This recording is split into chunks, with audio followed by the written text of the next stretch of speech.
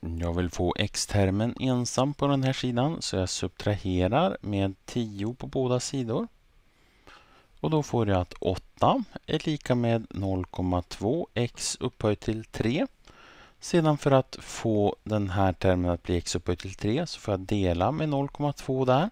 Så delar jag med 0,2. Så den och den tar ut varandra. Och 8 delat med 0,2 det är detsamma som att multiplicera 8 med 5. Så 5 gånger 8 det är 40. 40 är lika med x upphöjt till 3.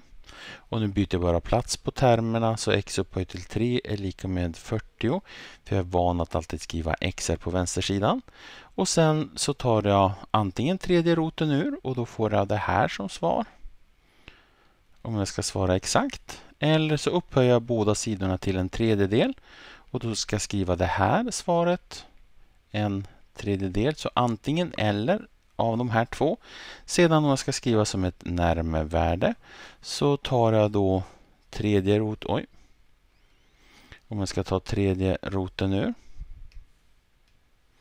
Så tar vi 40. Så där så blir det 3,42. Där har jag mitt närmevärde.